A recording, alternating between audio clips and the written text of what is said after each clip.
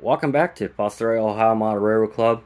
Um, I bought some foam board. I'm going to show you step by step how to make a cheap portable layout. Woodland Scenic sells the kit, but it's like 600 bucks, but it doesn't come with buildings or the track, but comes with everything else. But I want to do it on the cheap. Um, it's called Va uh, Value Central or something like that. I'll, I'll, whatever it's called. So I went out and bought foam. So this is what I'm going to make my foam risers out of. I'll show you how I do it. I'm going to use a normal bandsaw here. I'll mock everything up, cut everything. And then I'll show you how I make my foam risers. This is exactly 2 inch foam, just like they have it. And I'll do, do a step by step on it. Okay, it's been a few days. Today's Friday. Um, sorry I didn't do it. Uh, push record. I was not thinking. I was just in the mood to kind of get it done. Now, I cut all the foam risers and everything, so I'll explain how I did it. And I changed the, the theme up quite a bit. Now, uh, before we talk about this, let's go in the other room. Like like I was saying, I went from this 2-inch foam, I cut everything up as a four by eight sheet from Lowe's. And then uh, everybody we had we had a model railroad meeting today. A couple of them like, oh, you made some foam risers. I sure did. Now they're just exactly two inches thick and everything else. I have a bandsaw. I cut it exactly like uh, Woodland Scenic has, but I cut everything on, like I said, a bandsaw. It helps. It's really messy at the moment. So I cut the grooves in it. I kind of guessed. I I think it's about every inch is what I did. Even then, I, I just flip it around on the other side. Did the same thing. Now, this is one of the Woodland Scenics uh, foam risers I had laying around. I used this as a template as the same width of this.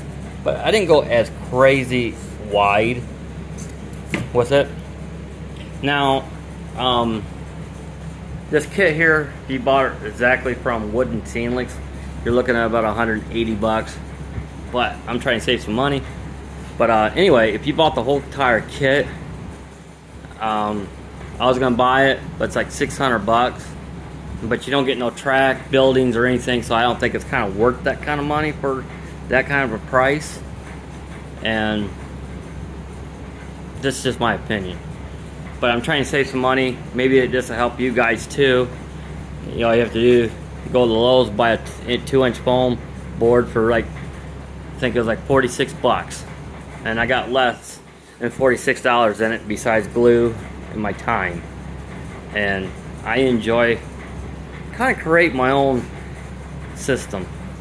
Now I kind of created this a little bit here because in the directions I, I download their uh, directions and everything. It's like I think 28 pages, but it tells you everything you need to know. But I modified this track plan big time. Okay.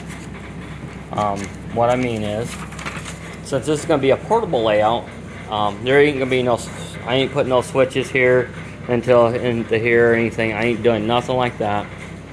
That's one modifications I did. And the other modification, like like I was saying right here's a switch and it goes into here. And then they come around here like a, a loopy loop and everything. Nope, I did it differently.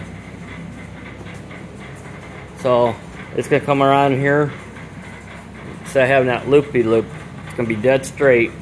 And my brother, he's gonna 3D print me a bridge. So we're gonna make a custom bridge thing sitting here. I think it'd be pretty awesome. So in the directions, it shows going from like two inch down to here to about one inch. Then uh, back up again. So I kind of guessed a little bit like they done it. And then I then from up here, you got to start down there and work your way up all the way around till you get to close to two inches. It now it looks kind of funky here. Don't worry about it because I'm gonna sand it by hand. So I, I like how it really turned out, honestly. And the, the guys were eager about it. So hopefully, if you guys want to show up tomorrow or something, it'd be great. I'll be posting this on Facebook if anybody wants to come and hang out for a while. in my garage. So I think they're coming down. But I, all in all, I really like how this whole thing came out. And this is going to be HO. That way we got a 4x8 HO scale, even an N scale portable layout. I don't know if I'm taking to the Fostoria train show yet. I don't know if I get it that far. If I don't, I'll just take it. If you guys say, hey, go ahead and just take it, I'll take it. All right, now what I gotta do is I gotta cut some cork up for this and everything else. So I'm trying to do it as cheap as I can and hopefully it helps you guys out too. So stay tuned for part two.